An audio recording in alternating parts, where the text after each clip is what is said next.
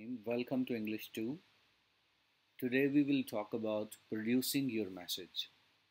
Message की production के बारे में जो कि प्रोडक्शन जो कि फाइनल स्टेज होती है मैसेज की आज हम उसके बारे में डिस्कस करेंगे क्योंकि जब हम मैसेज प्लान करते हैं प्लानिंग के बाद मैसेज को आ, लिखा जाता है लिखने के बाद फिर हम तीसरी स्टेज पे आते हैं उसको रिवाइज़ करते हैं और जब रिवाइज़ करने के बाद प्रेजेंटेशन बड़ी मैटर करती है तो प्रेजेंटेशन को बेहतर बनाने के लिए हमने फाइनल स्टेज जो होती है, उसको हम प्रोडक्शन स्टेज कहते हैं। तो मैसेज को जब हमने प्रोड्यूस करना है, वो प्रोड्यूस जो है, वो आपने पेपर पे प्रोड्यूस करना हो, वो मल्टीमीडिया के लिए हो, वो आपने जिस मर्ज़ी प्लेटफॉर्म पे आपने प्रेजेंट करना हो। बट जब हम प्रोड्यूस कर रहे होते हैं तो प्रोडक्शन की कुछ रिक्वायरमेंट है, कुछ डिज़ाइन के हवाले से हम बात करेंगे आज कि मैसेज जब हम डिज़ाइन कर रहे होते हैं तो उसकी लुक एंड फील किस तरह की होगी, आज के लेक्चर का हमारा ये टॉपिक होगा प्रोड्यूसिंग योर मैसेज और इसके जो ऑब्जेक्टिव हैं जी, आज के टॉपिक का जो ऑब्जेक्टिव है list four principles of effective design message की जो डिज़ाइनिंग है नो no डाउट वो बहुत इंपॉर्टेंट होती है कि मैसेज देखने में भी अच्छा लगना चाहिए, उसकी फॉर्मेटिंग उसका स्टाइल हर चीज़ और उसके जो कलर स्कीम है और उसकी जो बाकी चीज़ें हैं, वो सारी चीज़ें बड़ी इंपॉर्टेंट है। लेकिन इसमें चार प्रिंसिपल्स के बारे में हमने देखना है कि जो मैसेज के डिज़ाइन के हवाले से चार प्रिंसिपल्स कौन से हैं, उनको हमने डिस्कस करना है। And explain the role of major design elements in the document readability. और डिज़ाइन एलिमेंट वो कौन कौन से हैं? और उनके बारे में हमने देखना है कि वो कौन कौन से डिज़ाइन एलिमेंट हैं, उन डिज़ाइन एलिमेंट्स को भी हमने डिस्कस करना है। तो चार प्रिंसिपल्स और फिर हम ये जो चार एलिमेंट्स हैं डिज़ाइन के, इनकी हमने इम्पोर्टेंस पे भी बात करना है, इनके रोल पे भी हम बात करेंगे। प्रोड्यूसिंग योर मैसेज मैसेज की प्रोडक्शन की जब हम बात करते हैं तो ये प्रोडक्शन क्यों इम्पोर्टेंट है? क्योंकि देखें, अभी तक हमने ये पढ़ा कि मैसेज में उसकी प्लानिंग हमने कर ली मैसेज को लिख भी लिया, उसको रिवाइज भी कर लिया, उसमें मिस्टेक्स भी नहीं है। But even then message is not complete message उस वक्त कंप्लीट होता है जब उसके फाइनल टचेस दिए जाते हैं और फाइनल टचेस में भी बहुत सारी चेंजेस आती हैं। उसके, क्या उसकी जो फाइनल एस्थेटिक सेंस होती है, वो प्रोडक्शन स्टेज पे होती है। क्योंकि अगर मैसेज जो है वो एक ही तरह का मैसेज हो, लेकिन एक मैसेज है जिसको आपने बहुत अच्छे तरीके से प्रेजेंट कर रहे हैं और एक मैसेज को लिखा वो बहुत अच्छा है ग्रामर ग्रामेटिकल मिस्टेक्स उसमें नहीं है। वो उसका सेंटेंस स्ट्रक्चर बहुत अच्छा है स्पेलिंग मिस्टेक्स नहीं है, लेकिन उसको प्रेजेंट अगर अच्छे तरीके से नहीं किया गया तो वो इफ़ेक्टिवनेस उसके अंदर नहीं आ सकती। और हमारा मकसद क्या है? We want to make our message effective हम मैसेज को इफ़ेक्टिव बनाना चाहते हैं। इसलिए ये जो प्रोडक्शन स्टेज है producing your message this is very very important production के बारे में क्या कहा जाता है? The a polished inviting design not only makes your document easier to read, but also conveys a sense of professionalism and importance. अब ये added feature है कि आप पॉलिश्ड इनवाइटिंग डिज़ाइन अब मैसेज की बात नहीं हो रही डिज़ाइन की बात हो रही, कि आपका अगर डिज़ाइन मैसेज का डिज़ाइन बहुत पॉलिश्ड है, बड़ा इनवाइटिंग है अट्रैक्टिव डिज़ाइन है तो क्या होगा? कि not only makes your document easier to read एक तो फ़ायदा क्या है जी?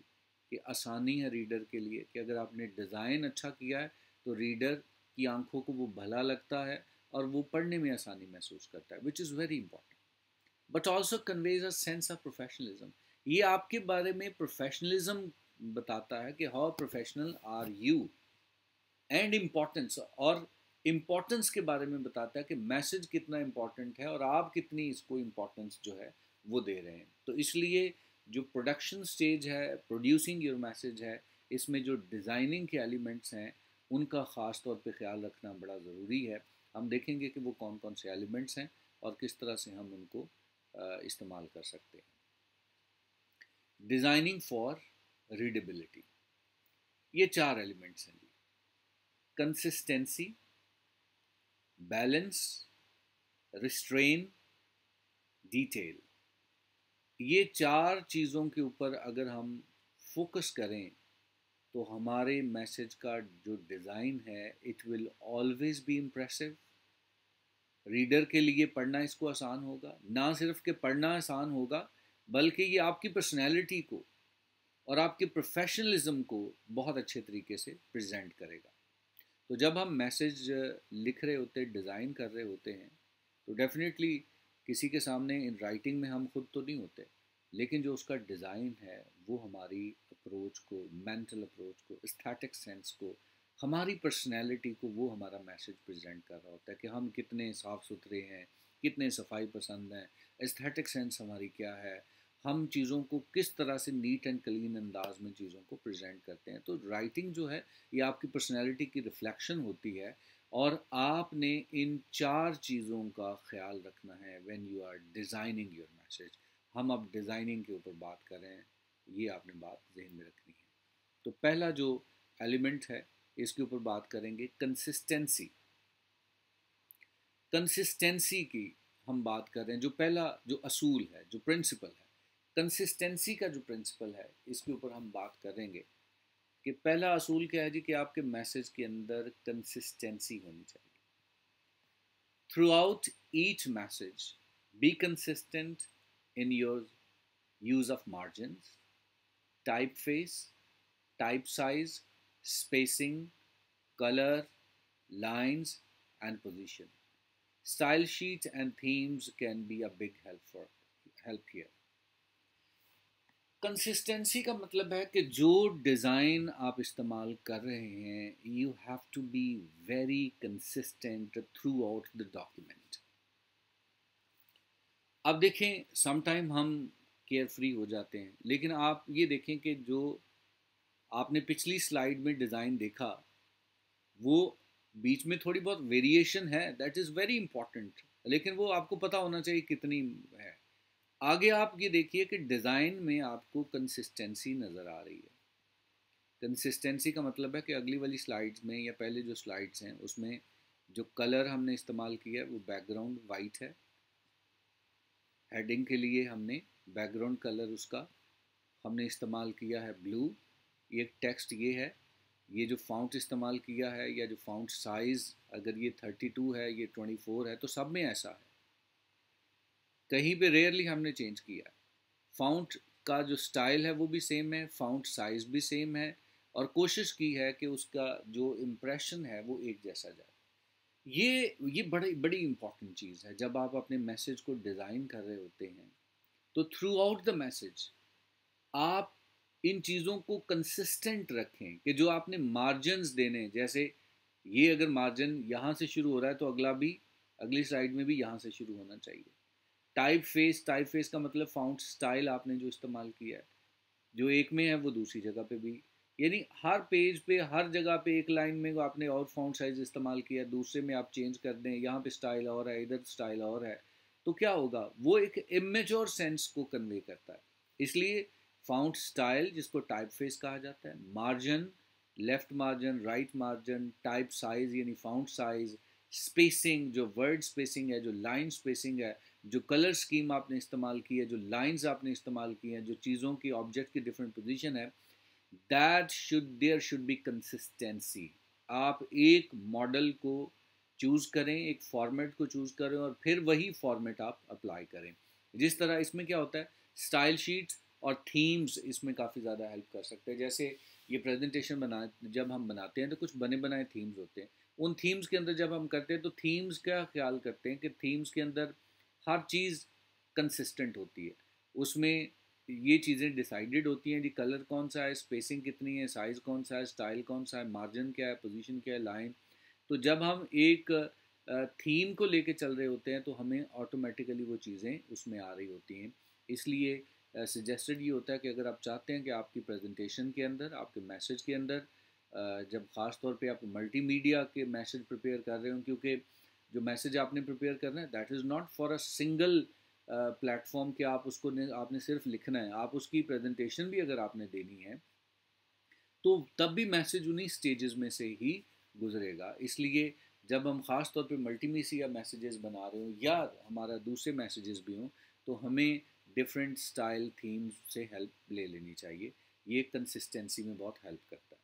दूसरा प्रिंसिपल क्या है जी? बैलेंस बैलेंस होना चाहिए। किस चीज़ में बैलेंस होना चाहिए? Visual balance. अब विजुअल बैलेंस से क्या मुराद है? विजुअल बैलेंस का मतलब है कि आप डिफरेंट विजुअल एलिमेंट्स इस्तेमाल कर रहे हैं। आप टेक्स्ट इस्तेमाल कर रहे हैं। आप जो है वो पिक्चर्स इस्तेमाल कर रहे हैं। और इंपॉर्टेंट बात ये है कि आप स्टाइल के अंदर भी बैलेंस बैलेंस होना चाहिए। यानी स्टाइल के अंदर क्या बैलेंस होना चाहिए? कि कितना आप चीज़ों को फॉर्मल रख रहे हैं और कितना इनफॉर्मल रख रहे हैं। देखें बिज़नेस की जब हम बात करते हैं ना तो बिज़नेस राइटिंग में business writing is not a formal writing और business writing is not a casual writing इसमें बड़ा एक बैलेंस बरकरार रखना होता है कि हमने ज़्यादा फॉर्मल भी नहीं होना और ज़्यादा इनफॉर्मल भी नहीं होना। हमने चीज़ों को मिक्स करके चलना है। That is the requirement of the business message कि visual balance can be too formal just right or too informal for a given a message one document may have a formal rigid design in which the various elements are placed in a grid pattern whereas another may have less formal design in which elements flow more freely across the page and both could be in balance यानी formal और informal style का balance होना चाहिए। ये नहीं कि business में आप फॉर्मल स्टाइल नहीं इस्तेमाल कर सकते। फॉर्मल स्टाइल बिल्कुल इस्तेमाल करें। ये भी नहीं है कि आप इनफॉर्मल नहीं हो सकते, आप इनफॉर्मल भी रखें। दोनों को मिक्स करें। आप बिल्कुल भी इनफॉर्मल नहीं रह सकते और बिल्कुल भी ज़्यादा, बहुत ज़्यादा टू फॉर्मल हो जाना that is not our requirement तो डिज़ाइन की जो दूसरा बड़ा प्रिंसिपल है, वो ये है कि there should be a balance in writing कि आप फॉर्मल स्टाइल यूज़ करें या इनफॉर्मल स्टाइल यूज़ करें, बड़े बैलेंस के साथ आपने इसको इस्तेमाल करना है और बैलेंस मेंटेन रखना है। तीसरा प्रिंसिपल है जी रिस्ट्रेन रिस्ट्रेन का क्या मतलब है?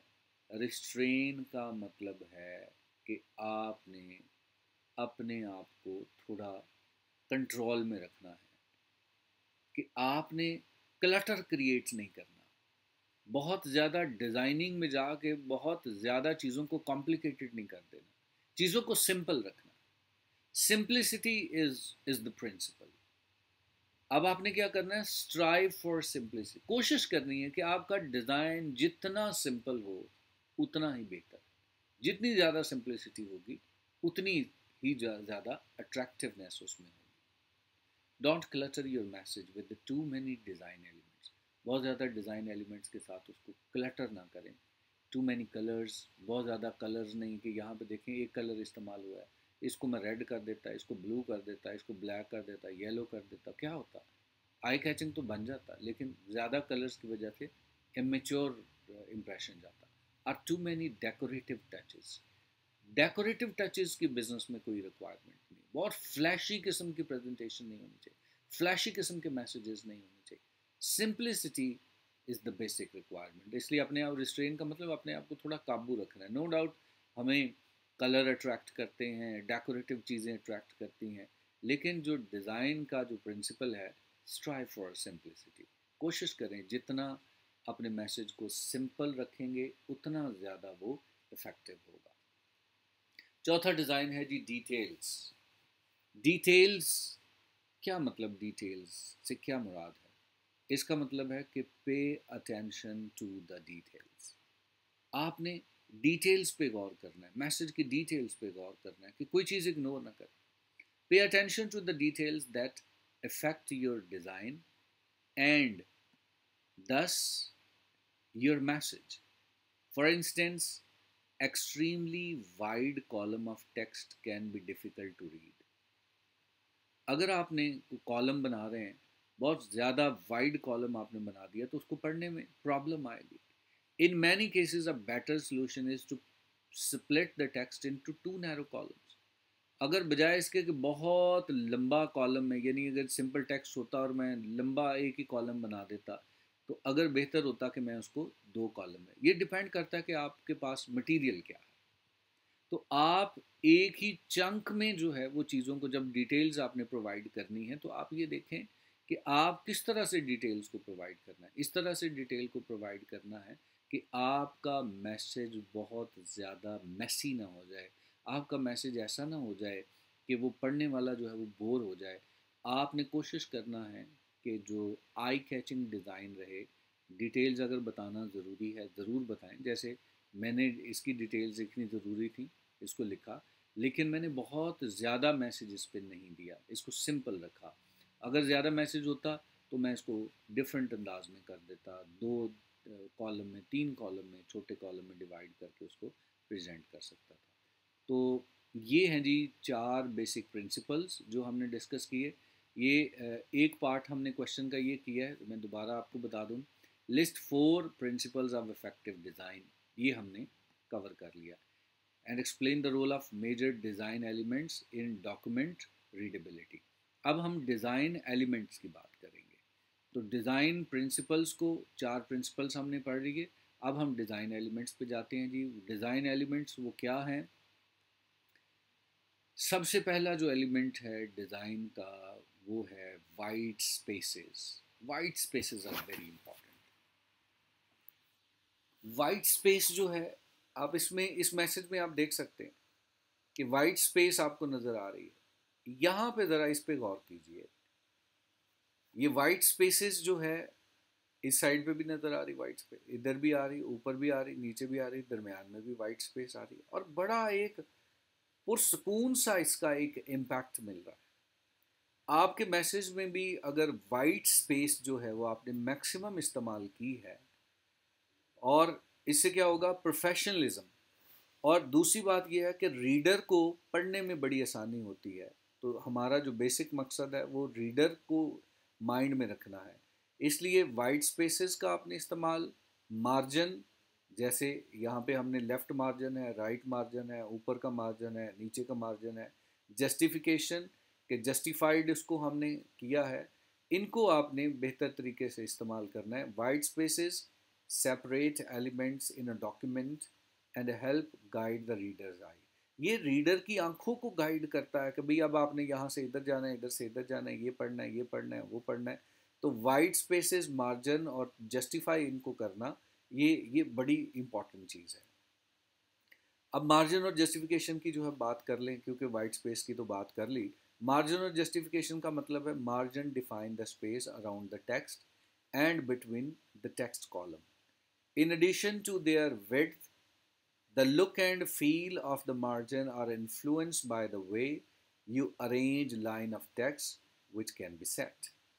अब इस पे ये ये देख सकते हैं कि मार्जिनस जो लेफ़्ट है राइट है, बीच में, दरमियान में, ये सारे जो मार्जिन है, ये ये और जस्टिफिकेशन के आपने लेफ़्ट उसको रखा है राइट रखा है, ये डिज़ाइन में आप समझ लीजिए कि एक एस्थेटिक सेंस को कन्वे करते हैं, इसलिए हमने इस एलिमेंट्स का ख्याल रखना है कि जब हम मैसेज को डिज़ाइन कर रहे हैं तो हमें पता होना चाहिए कि हमने कब, कौन सा स्टाइल हमने इस्तेमाल करना है।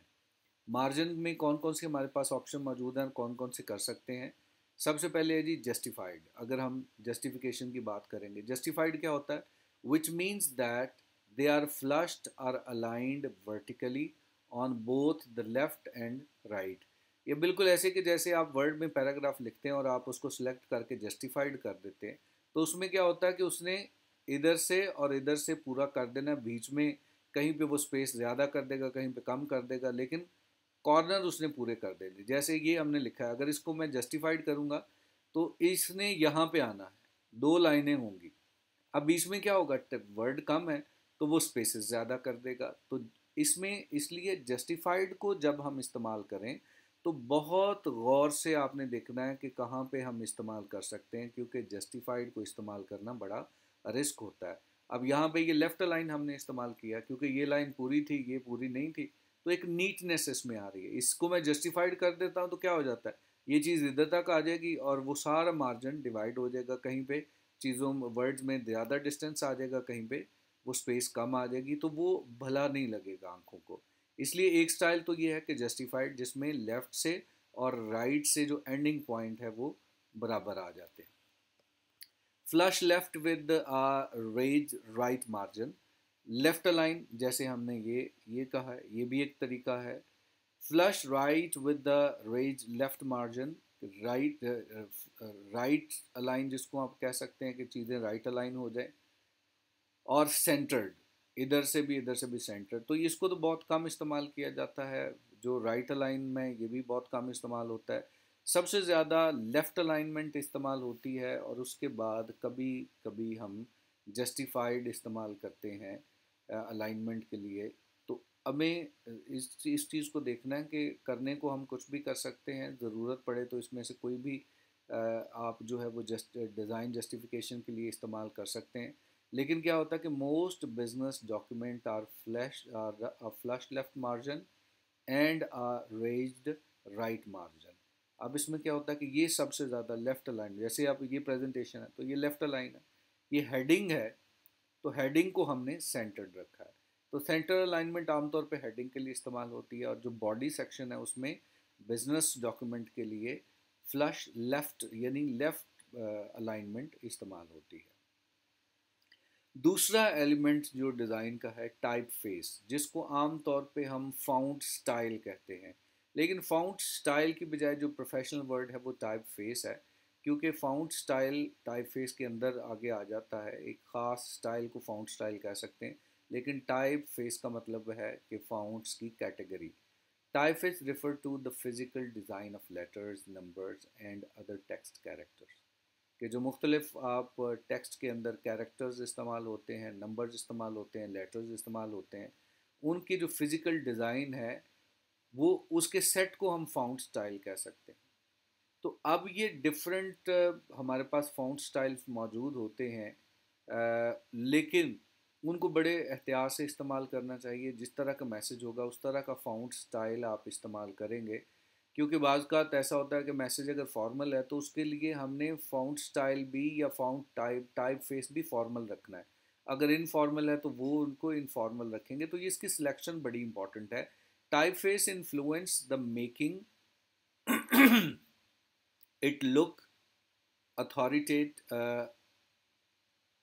authoritative or casual classic uh, ये थोड़ा सा बीच में मिस हो गया है। कि आप इसमें ये अथॉरिटी को शो करता है कि जो मैसेज जो है उसकी अथॉरिटी क्या है। अब टाइप फेस और टाइप स्टाइल में अगर हमने चूज़ करना है, इस पर ज़रा थोड़ा सा डिफ्रेंशिएट कर लीजिएगा कि बिज़नेस यूज़ के लिए कौन कौन से टाइप फेस अब इस्तेमाल करते हैं। Time New Romans Caliber Calibri Cambria Arial Garamond इसी तरह जो हैंड राइटिंग स्टाइल है। ये सारे स्टाइल बिज़नेस के अंदर मुख्तलिफ़ सिचुएशन में इस्तेमाल होते हैं। और जो फाउंड्स हैं जो कि आमतौर पे बिज़नेस के लिए नहीं इनफॉर्मल स्टाइल में होता है। जोकर मैन है जूस है जीजी है मैग्नेटो है। ये थोड़ा सा मुझे पढ़ा नहीं जा रहा। गाउडी स्टाउट स्टाउट है। ये वो हैं कि जिनको हमने बिज़नेस लेटर्स में और इनको बिज़नेस प्रेजेंटेशंस के अंदर इनको नहीं इस्तेमाल करना चाहिए।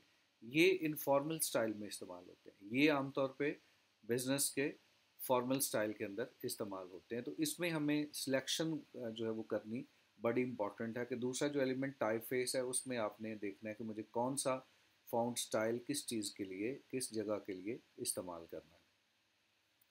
टाइप फेस पर्सनैलिटी के जो हम फाउंड की बात करते हैं ना तो हर फाउंड की अपनी पर्सनैलिटी होती है और उसको कुछ serious to casual to playful कि कुछ फाउंड बड़े सीरियस होते हैं, कुछ कैजुअल होते हैं और कुछ बड़े प्लेफुल या फनी होते हैं। अब इसमें ज़रा हम देखते हैं जी, कुछ एनालिसिस करते हैं। Bookman Old Style serif typeface best for text text के लिए जो बेहतरीन है, वो ये है Bookman Old Style sans serif typeface best for heading some work will be for text okay ji. Heading के लिए एरियल इस्तेमाल करें। Speciality typeface for decorative purpose only और अगर आपने डेकोरेटिव पर्पज़ इस्तेमाल करना है तो उसके लिए ये फाउंट इस्तेमाल करें। इसी तरह ये आप बाकी चीज़ों को भी दे सकते हैं कि सेंचुरी स्कूल बुक है, आपने बॉडी के लिए ये रखें कैलिबरी है, इसको फॉर हेडिंग आप इस्तेमाल कर सकते हैं। इसी तरह बडोनी है, इसको आप ज़रा टाइप डेकोरेटिव किस्म का है। तो ये आपने ये देखना है कि किस मकसद के लेटर आप बना रहे हैं, आप ब्रोशर बना रहे हैं, आप किस तरह का मटेरियल प्रिपेयर कर रहे हैं, उसके मुताबिक अगर कोई आपका प्लेफुल किस्म का फ़नी किस्म का कंटेंट है तो उसके लिए फिर टाइप जो आपने इस्तेमाल करने वो भी इनमें से इस्तेमाल करें। हेडिंग्स के लिए ये इनमें से चूज़ करें और जो बॉडी टेक्स्ट है, उसके लिए इनमें से चूज़ करें। ये सेम गाइडेंस है फॉर वेबसाइट और सेम फॉर मतलब जो आप लिखना चाह रहे हैं इन राइटिंग जो पेपर राइटिंग है, उसके लिए भी सेम गाइडेंस इसमें होती है। तो दूसरा एलिमेंट हमारा टाइप फेस यहाँ तक जी हमने एलिमेंट्स को डिस्कस किया टाइप फेस को हमने डिस्कस किया, और मार्जिन और जस्टिफिकेशंस को हमने देखा वाइट स्पेसेस के बारे में हमने देखा। तो ये तीन चीज़ें हैं जी वाइट स्पेसेस है मार्जिन एंड जस्टिफिकेशन है, और टाइप फेस है। इन एलिमेंट्स का अगर हम ख्याल रखें तो हमारे मैसेज के अंदर एक प्रोफेशनलिज्म आ जाएगा और हर टाइप फेस की अपनी पर्सनैलिटी है। कौन सा टाइप फेस किस लिए इस्तेमाल हो सकता है, इसको हमने डिस्कस किया। अगले लेक्चर में हम देखेंगे using technology to produce your message production में टेक्नोलॉजी कैसे इस्तेमाल होती है।